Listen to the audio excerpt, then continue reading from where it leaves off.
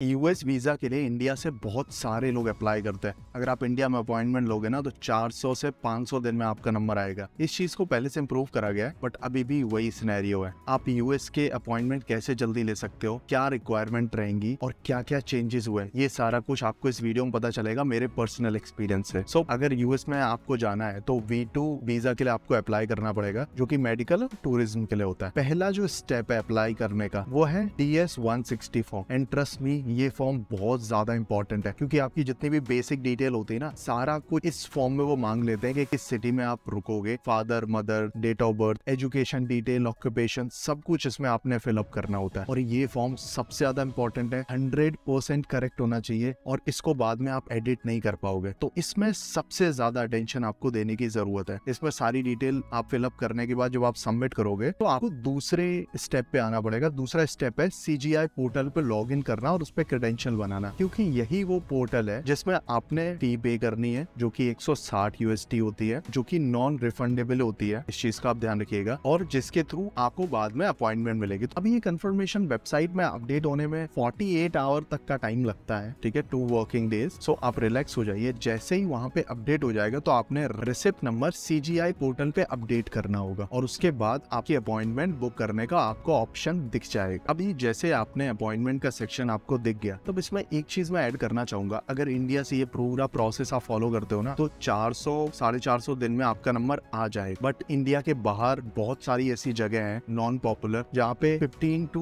25 days में आपको appointment आराम से मिल सकती है और पहले से अप्लाई कर सकते हो इंडिया से बैठे बैठे बट वहाँ पे एक चीज़ आएगी। वहाँ पे वो जब आपका इंटरव्यू प्रोसेस के दौरान आपसे पूछ सकते हैं कि आपने इंडिया से क्यों अप्लाई नहीं करा और यहाँ से क्यों अप्लाई करना चाहते हो? और अगर अर्जेंसी आपका रीजन है तो अर्जेंसी क्यों है आप? ठीक है? तो आपके पास रीजन होने चाहिए। फिर सीजीआई वेबसाइट पे आपको दो वेन्यू के ऑप्शन आएँगे। अगर आप इंडिया से अप्लाई कर रहे हो तो एक दिन आपको बायोमेट्रिक अपॉइंटमेंट बुक करनी पड़ेगी। दूसरे दिन आपकी काउंसलर अपॉइंटमेंट होगी बट अब इंडिया से बाहर कर रहे हो तो सेम डे ही दोनों अपॉइंटमेंट आप कर सकते हो। सेम डे आपका बायोमेट्रिक हो जाता है और सेम डे ही काउंसलर अपॉइंटमेंट भी आपकी हो जाती है। सो ये चीज़ें आप देख लीजिएगा। और उसी फॉर्म में आपको डिलीवरी एड्रेस भी होता है। जैसे जब अपॉइंटमेंट के लिए जाओगे तो आपने पासपोर्ट अपना सबमिट करना होगा। ये बेसिक प्रोसेस होता है। पासपोर्ट आपका ले लेंगे, उसके बाद जो आपका डिलीवरी एड्रेस होगी, उस पर जब स्टैंपिंग हो जाएगी, उसके बाद आपको कुरियर करेंगे। तो वो एड्रेस आपने सही रखना है। और इंडिया के बाहर अगर जाते हो तो वो पासपोर्ट आपका कलेक्ट कर देते हैं और स्टैंपिंग के बाद अपॉइंटमेंट में एक दो दिन का टाइम लेते हैं। स्टैंपिंग के बाद आपको वो बुलाते हैं और आपको आपका पासपोर्ट हैंड कर देते हैं।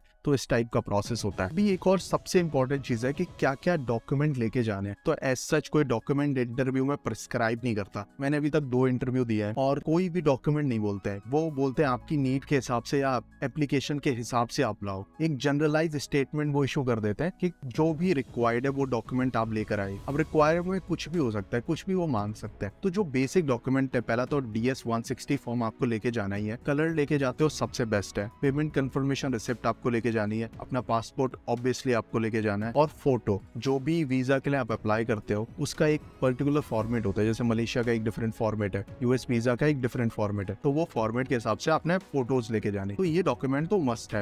अब जो नेक्स्ट चीज़ है, वो आप ज़रूर लेके जाना बैंक स्टेटमेंट क्योंकि आपको फाइव डॉलर का फंड दिखाना पड़ेगा। अब वो फंड आपके बैंक स्टेटमेंट में क्लियरली रिफ्लेक्ट होना चाहिए। उसमें तीन चार लाख का फंड दिखना चाहिए। ऐसा ना हो कि आपने तीन चार लाख रुपए आ रहे हैं, फिर आप विड्रॉ कर ले रहे हो, फिर आ रहे हैं, फिर विड्रॉ कर ले रहे हो। मतलब उसमें रहना चाहिए, ताकि उसको लगे कि इस बंदे के पास सरप्लस फंड है। नेक्स्ट चीज़ है बर्थ सर्टिफिकेट एजुकेशन के डॉक्यूमेंट एक्सपीरियंस जो भी आपके पास है, वो सारी चीज़ें अपने साथ कैरी करें, क्योंकि वो आपसे पूछ सकते हैं, आप क्या काम करते हैं, आपका ऑक्यूपेशन क्या है, आप क्या एजुकेशन करते हैं, या कोई और उसमें डिटेल्स आपसे वो पूछ सकते हैं वेरीफाई करने की वो पूरी पूरी कोशिश करेंगे and they are well trained in it जो बेसिक क्वेश्चन आपको आएगा, आप क्यों जाना चाहते हैं, आप अपने ट्रेवल को कैसे अफोर्ड करेंगे, ये सारे रीजन रहेंगे। कोई भी डॉक्यूमेंट को गलती से भी आपने गलत नहीं सबमिट करना है, ना ही कुछ गलत बताना है। किसी भी टाइप का कोई फेक डॉक्यूमेंट नहीं चलेगा। सही इन्फॉर्मेशन आपको देंगे, आपको कोई भी दिक्कत नहीं होगी। आपको जो आंसर है वो बहुत ज़्यादा प्रसाइज रखने कट टू कट। मतलब उन्होंने कोई क्वेश्चन पूछा, आपने कुछ एक्स्ट्रा एड नहीं करना है। आपको उतना ही आंसर देना है and that would be sufficient enough और उसके बाद जब आपका अपॉइंटमेंट हो जाएगा आई होप कि आपका वीज़ा अप्रूव हो जाएगा, उसके बाद वो आपको कॉन्ग्रेचुलेशन विश करेंगे। और यूएस का time frame seven to nine working days होता है कि वो आपका पासपोर्ट आपके घर में डिस्पैच करेंगे। अगर इंडिया के बाहर अप्लाई कर रहे हैं सो दो तीन दिन में वो आपको एक टाइम बता देते हैं, उस टाइम आप कलेक्ट कर सकते हैं अपना पासपोर्ट अभी कई केसेस में ऐसा भी हुआ है कि उन्होंने पासपोर्ट सबमिट कर लिया बट उसके बाद भी वीज़ा रिजेक्ट हुआ। वो क्या है, जब आप डॉक्यूमेंट सबमिट करते हैं ना डीएस 160 फॉर्म के अकॉर्डिंग और जो इंटरव्यू के अकॉर्डिंग उसको असेसमेंट भी होता है। और असेसमेंट के बाद भी कई लोगों का रिजेक्ट हो जाता है। तो इसीलिए बहुत इंपॉर्टेंट है डीएस 160 फॉर्म में आप जो फिलअप करें, वो हंड्रेड परसेंट एक्यूरेट हो। आपके जो डॉक्यूमेंट हो, वो भी फेक ना हो और आप जो बता रहे हैं कॉन्फिडेंटली और प्रिसाइजली अपनी बातों को सामने कन्वे कराने की कोशिश करें। और इंग्लिश बहुत ज़्यादा इंपॉर्टेंट है। आप वैसे कई और लैंग्वेजेस में दे सकते हैं इंटरव्यू बट स्टिल अगर आपको इंग्लिश आती है, वो बहुत बड़ा एडवांटेज है। फिर भी अगर आपकी कोई भी क्वेरी है तो प्लीज़ कॉमेंट